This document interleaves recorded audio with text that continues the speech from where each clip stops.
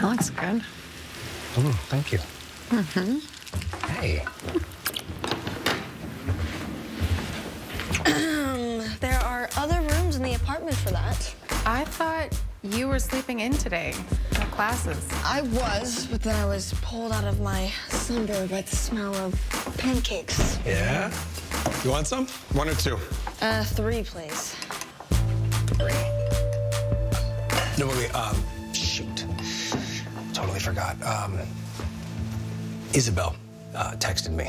She's in town and needed to talk, so I, I just told her to come here. I hope that's okay. Oh, yeah, I'm, of course. Hey, I'm sorry. I meant to tell you after you got out of the shower, but, you know, I got in the shower and...